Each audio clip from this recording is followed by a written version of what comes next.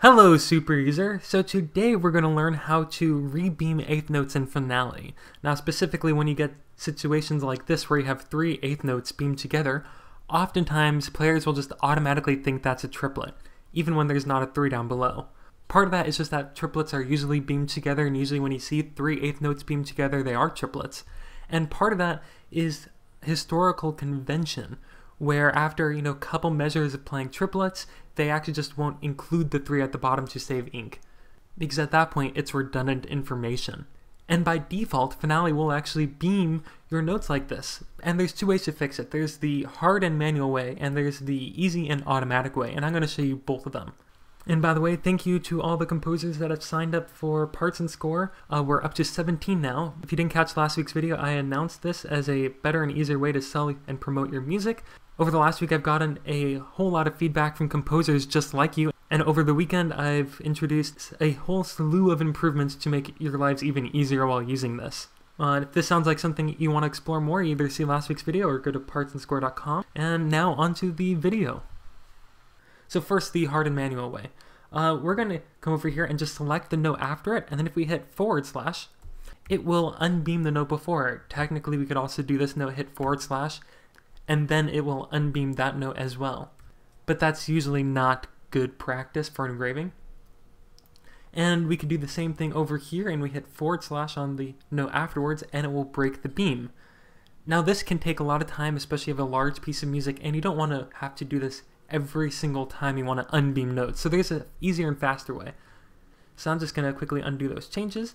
And then we're going to go over to our document options. Now you can either hit Option Command A, or you can come up here to Document and Document Options, and you'll go to the Beams page. Now here, there is, you know, a couple settings for beamings, and the one that is causing the eighth notes to beam how they are is the beam 3 eighth notes before and after an eighth rest.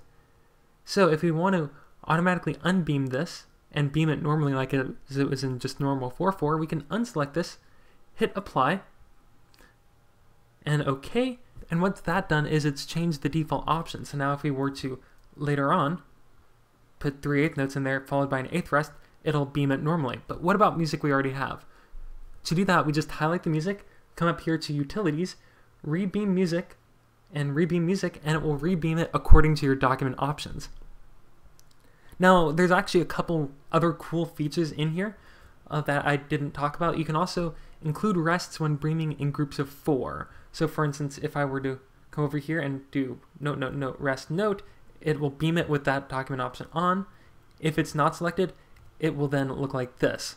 I personally prefer this solution, so I always leave this unchecked. And you can also beam four notes together in common time. Uh, what this looks like is if you were to have four eighth notes together like that, it'll automatically beam it together. Oftentimes this just helps with grouping and help make it simpler for players to read, but not everyone likes this look. So you can always uncheck this as well. And again, to rebeam music you've already written, come up here to Utilities, Rebeam, Rebeam Music.